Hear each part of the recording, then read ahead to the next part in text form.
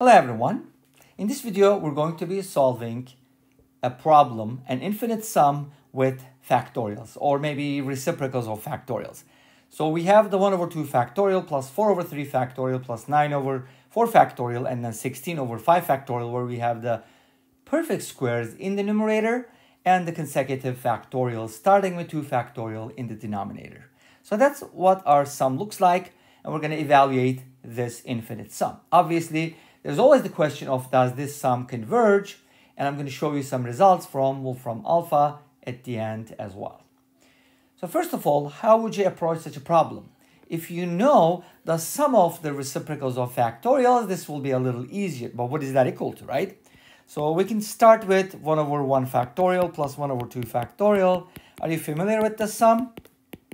Let me tell you. There's a formula that we're going to be using. So let me give you that formula first if you have n equals 0 to infinity of x to the n divided by n factorial, which can be written as 1 plus x plus x squared over 2 factorial plus x cubed over 3 factorial, so on and so forth.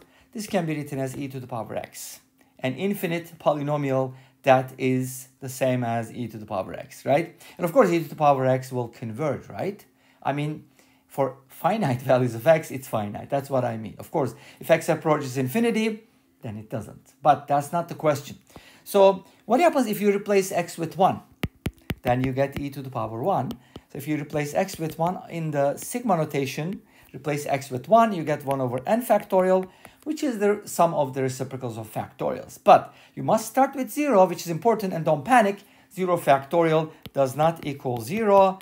0 factorial is actually equal to 1. Why is that? That's a good question. We could talk about it later. Now, let's go ahead and expand this. 0 factorial is 1, so it's going to be 1. And then 1 again for 1 factorial. And then we'll have the fractions. And you probably recognize Euler's number, or E, is about 2.7. So this number is greater than 2 because everything is positive, right? So if you ever forget how many ones we have in the sum, remember this E is about 2.7, so we have to have at least 1 plus 1. If you had another one, that would be 3, so that wouldn't work. See? Exactly one ones. I mean two ones. So how do we evaluate knowing this sum as sum like this with perfect squares? Okay, we have a perfect method that handles this, and it's called the sigma notation. What is sigma? Well, we just talked about it. If you replace uh, a sum with sigma, you can do it pretty much for this too. So how do we use sigma to write this? Like, what is the general term, right? That might be a good question. Notice that it's going to go from n equals something to infinity for sure, right? Uh, we'll talk about the first term. But notice that general term in the numerator, we should have perfect squares, like 1 squared, 2 squared, 3 squared, 4 squared, so on and so forth. Since the first term has 1 squared, we're going to have n squared in the numerator. But notice that the denominator is kind of 1 more than n. So in other words, it's n plus 1. And of course, n equals 1 is the first one. Get it? Easy, right? You just have to write it in sigma. And if it, you may not get it right away, but at least, oh, by the way, I forgot the factorial. Sorry about that. Let's not leave it like that because those are factorials. And you, if you don't get it right the first time, that's perfectly fine. Just keep trying and don't give up, okay? So this is my sum uh, in sigma notation. How am I going to evaluate it? Does having a sigma notation help? Absolutely. Because now you can take the general term and break it down until you can make it look like this. See? That's equal to E. Great. Now, let's go ahead and break it down. First of all, n squared is not divisible by n plus 1. It's divisible by n, but that's not super helpful, in my opinion. Here's what I'd like to do.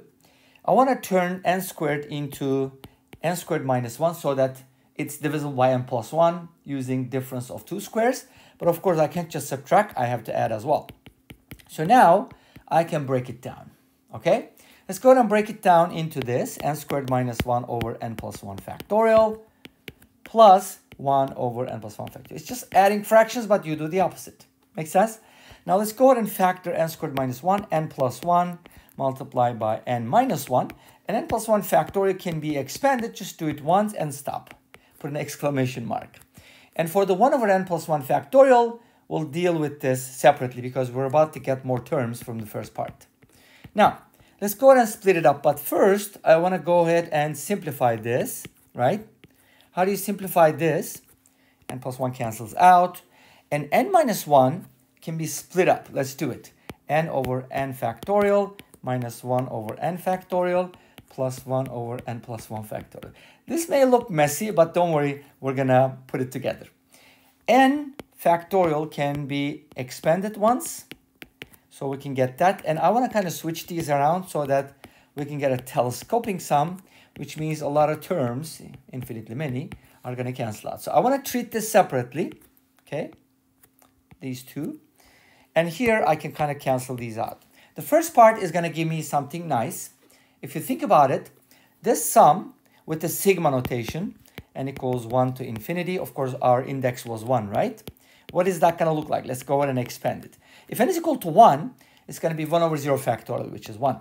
1 over 1 factorial is going to be 1 again, and then you're going to start having 1 over 2 factorial, 1 over 3 factorial, so on and so forth. What does that look like? That looks like e, exactly. And if you change the index here, like replace n with k plus 1, then k plus 1 is going to be 1, which means k equals 0 to infinity, 1 over k factorial, which is the same as e. So just memorize it. It'll be easier if you do. So that's e. That's the first part. What about this one? Let's go ahead and handle this separately. Since that's telescoping, I can go ahead and write it as follows. n equals 1 to infinity, 1 over n plus 1 factorial, minus n equals 1 to infinity, 1 over n factorial. So you can kind of write it like this. If n is equal to 1, this is going to give me 1 over 2 factorial, and then 1 over 3 factorial, dot, dot, dot. And then from that, minus a gigantic sum. For n equals 1, it starts with 1, and then 1 over 2 factorial, and then 1 over 3 factorial, so on and so forth. You can stop once you get the same thing. And now notice that this whole thing is going to cancel out and we're going to end up with minus 1.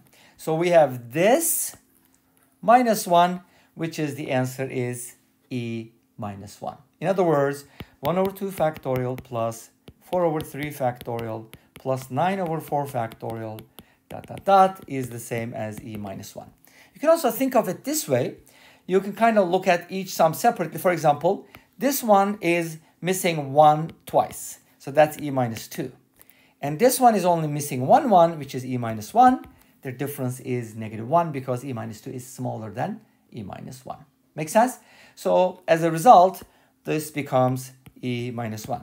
Now, do you know of a different way to solve this problem? Please let us know in the comment section down below because I'm curious.